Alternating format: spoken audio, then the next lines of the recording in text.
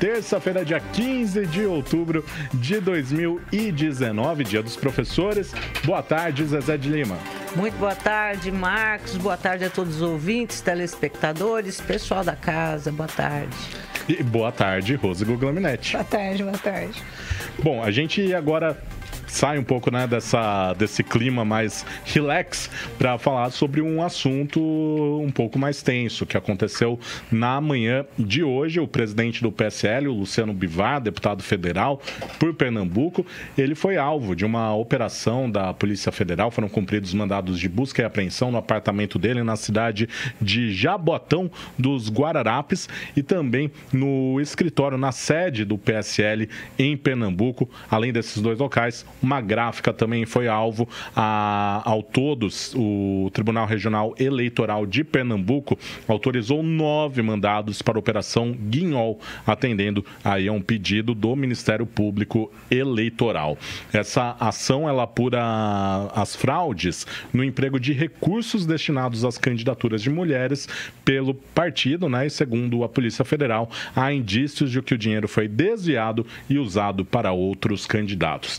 Esse assunto já está aí em debate há muito tempo, né? A questão da, dos laranjas do PSL. Foi também o, um dos motivos pela briga né, entre o presidente da República, Jair Bolsonaro, com as lideranças do partido, essa discussão que começou já na semana passada, quando o próprio presidente da República falou uh, que o Luciano Bivar estava queimado. Então agora ficou até o Major Olímpio, senador por São Paulo, usou nas redes sociais também, deu alguma indireta de que teria ali uma conspiração, ou ao menos o presidente da República saberia com antecedência dessa operação da Polícia Federal. Zezé de Lima, como você viu essa operação da Polícia Federal? É, foi algo normal? Você acredita que possa sim? Você entra nessa teoria conspiratória de achar que pode ser alguma coisa, uma, algum tipo de retaliação? ou o presidente sabia dessa operação com antecedência e por isso comentou? Qual é a sua análise? Olha, se ele sabia é, antecipadamente, juro que eu não sei. Isso daí não dá para para olhar e para ter uma resposta, não. Agora, que foi normal, é, eu acho também que foi. A Rose hoje falou: olha, quem pediu foi o Ministério Público Eleitoral de Pernambuco, concedido pelo TRE de Pernambuco. Então, é, é, não tem por que da gente duvidar desses órgãos e muito menos é, duvidar de que exista alguma algum rolo grande atrás dessa, dessa história desses fantasmas.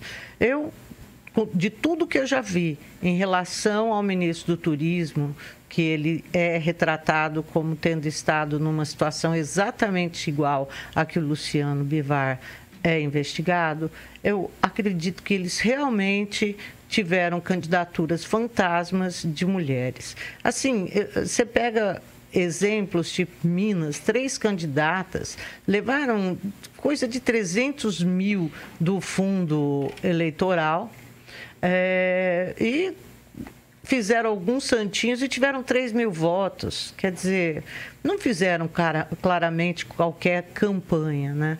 E, então, e esse dinheiro, ao que as testemunhas disseram, algumas delas que participaram do esquema, uma parte pequenininha ficou com eles e o restante voltou para subsidiar para bancar candidaturas tanto do ministro quanto dos próximos dele.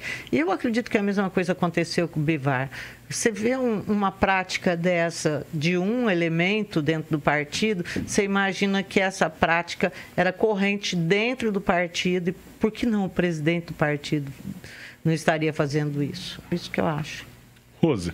Pois é, é, bom, enfim, às vezes ela colocou, eu, eu acho que o Bolsonaro, nesse caso, não, não, não acho que ele determinou que a polícia fosse lá fazer um, uma operação na casa do Bivar, mas o Bolsonaro vai usar a operação, Zezé, para poder justificar a sua saída do PSL. Pelo menos é o que os jornais estão trazendo agora à tarde, dizendo que eles vão para a justiça, dizendo que há justa causa para que os deputados deixem o partido sem perder o mandato. Porque a grande preocupação dessa história, dessa briga toda do Bolsonaro com o, o Bivar, é a preocupação de os deputados que são é, aliados de Bolsonaro deixarem a legenda e perderem o mandato, porque se eles deixarem a legenda, o partido pode requerer o mandato.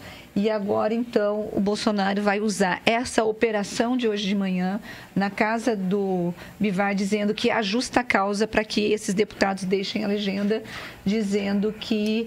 É, tem problemas e que por ser um partido que está com problemas está sendo investigado teria que sair. Ele só precisa ter coerência, o Bolsonaro, porque ao mesmo tempo que ele vai usar a história do Laranjal do PSL para poder tentar garantir os mandatos dos seus deputados, ele não debite o ministro de Turismo que é o gente qual é o nome Marcelo é Marcelo Álvaro é o Marcelo Álvaro Antônio na verdade é o tá. Marcelo Álvaro Antônio e ele mantém no Ministério mesmo mesmo a Polícia Federal já tendo denunciado ele e o Ministério Público de Minas também pelo mesmo crime que é o laranjal do PSL que foi o uso de dinheiro que deveria ter sido é, gasto com campanhas femininas e que esse dinheiro foi desviado.